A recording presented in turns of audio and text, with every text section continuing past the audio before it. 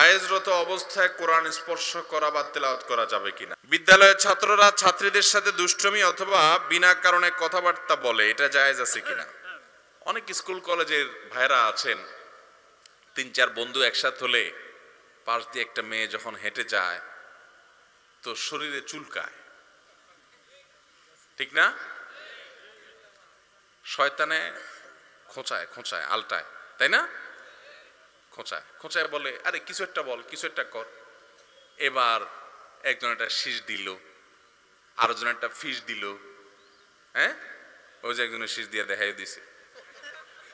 তো এরকম বাদ্রামো আমাদের অনেক যুবক ভাইরা করে, কি করে না বলেন? অনেকে দেখা যায় তার শরীরের বিভিন্ন অঙ্গ প্রত্যঙ্গ নিয়ে বাজে মন্তব্য, তাকে নিয়ে বাজে মন্তব্য টিচ করা উত্তক্ত করা, নোংরা কথা বলা, অসভ্য কথা বলা, নিজেদের মধ্যে রসিকতা করা, হা হা করা, হি হি করা এই সমস্ত পাগলামে ছাগলামও আমাদের অনেক যুবক ভাইরা করে কি করে না? আচ্ছা ভাই, এই মেয়েটা যে যাচ্ছে, এই মেয়েটা কারোর বোন, কারোর মা হবে, কারোর স্ত্রী হবে বা আছে, কারোর মেয়ে, ঠিক না বে ঠিক? আপনার মা, বোন, স্ত্রী, কন্যা আপনার পরিবারে আছে না নাই? হয় আছে নয়, আসবে এক সময়, ঠিক না? আপনি একটু চিন্তা করেন তো। আপনার পরিবারের একটা মেয়ে যখন এরকম যাচ্ছে, আশেপাশ থেকে সবাই যখন তাকে নিয়ে এরকম উত্তক্ত করছে, নোংরামো করছে, অসভ্যতা করছে, আপনার কাছে কেমন লাগবে? তাহলে আপনি যদি একজন বিবেকবান মানুষ হন, তাহলে আপনি কখনো এই অসভ্যতা করতে পারেন? মনে রাখবেন কিছু কিছু বদামল আছে, এগুলো খুব ভয়াবহ। আপনি একটা অন্যায় করে ফেলেছেন আল্লাহ কাছে মাপ চাইছেন, মাপ পাইতে পারেন। কিন্তু এই মেয়েটার ইজ্জত নিয়ে চিনিমিনি খেলেছেন। তাকে বাজে কথা বলে কষ্ট দিয়েছেন, মানুষের হক নষ্ট করছেন। কোথাকার মেয়ে হয়তো জীবন আর দেখা হবে না তার সাথে।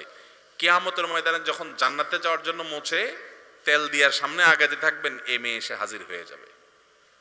এ মেয়ের সামনে এসে দাঁড়াবে। তুমি ওই মোড়ে থেকে শীষ দিয়েছিলে, আমাকে নিয়ে বাজে কথা বলেছিলে।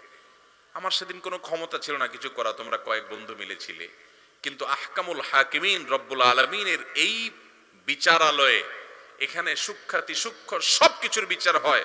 আজকে আল্লাহ, আমি এই লম্পটের বিচার চাই। কোন রক্ষা হবে সেদিন? আল্লাহর কসম, হাদিস বলছে, ওই দিন আপনাকে বিচারের মুখোমুখি হতে হবে। অতএব যুবক ভাইরা এই সমস্ত পাগলামো এবং দুষ্টামি আমরা করতে যাব। আল্লাহর ভয় আমরা এগুলোতে ফিরে আসব। এগুলো অসভ্যতা, এগুলো বর্বরতা, এগুলো নোংরাম, এগুলো করব না।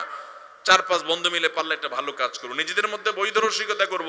কোনো মেয়েকে নিয়ে বা অন্য কাউকে নিয়ে উত্তক্ত করা, বাজে ব্যবহার করা বা পাঁচ ছজন মিলে শক্তি হয়েছে একজনের সাথে খারাপ ব্যবহার করা রাব ব্যবহার করা, আক্রমণ করা, এই ছোট লোকই এবং জুলম এবং নির্যাতন এবং গুণ এবং পাপের কাজ করব।